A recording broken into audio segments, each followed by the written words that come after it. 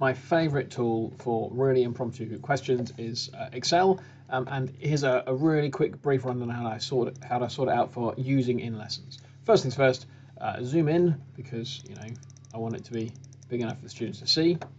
Um, and uh, what I was doing today with some of my uh, students was number bonds, number bonds to 10. Uh, so I wanted questions that looked like 3 plus uh, something equals and 10.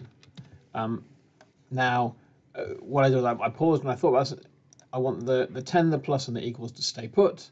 Um, I want this to change. Um, so first of all, I'm just going to bump the size up and center them because that's just neater.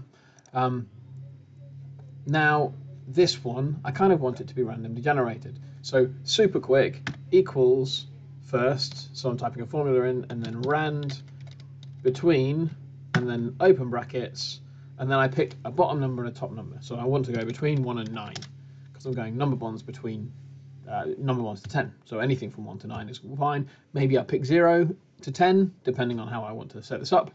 Um, and the beautiful thing about this is uh, now this is an auto-generating worksheet. Um, so to regenerate this, you just press F9. If I press F9, it recalculates the whole sheet. Suddenly I have an auto-generated worksheet with as many questions as I like. Obviously they'll repeat sometimes, but I can just bash F9 until I get ones I like. Um, what I did then was I wanted to extend this idea slightly. So I didn't just want this to be 10, I wanted it to be a multiple of 10. So I changed this to 10 times and then rand between 1 and 9. Okay, so it, it's 10 times a random number from 1 to 9.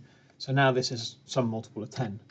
Okay, um, and I did two things. Uh, actually, the first thing I did was I didn't want it to be um, this. I was talking about uh, how do I get up to 30. So I wanted this to really say 26, not 6.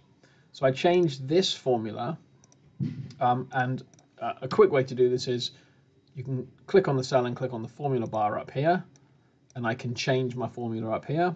So what I really wanted is I wanted a random number between 1 and 9 less than this. So I, if I click right here, and then I click this cell, it says F2, take away my random number. So now I'm starting at 30 and subtracting some random number from 1 to 9.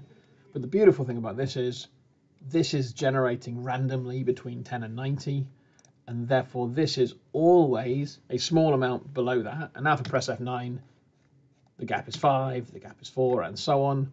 Um, and you'll see obviously it's random number generator so sometimes one of the numbers doesn't change because it generates the same number in twice in a row.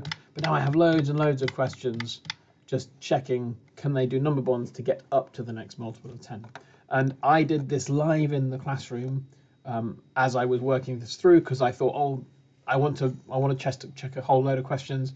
I was using many whiteboards with the students so I could see immediately what their responses were. But it did. It took me about 30 seconds to just chuck that in an Excel spreadsheet during my lesson, which I think is very handy.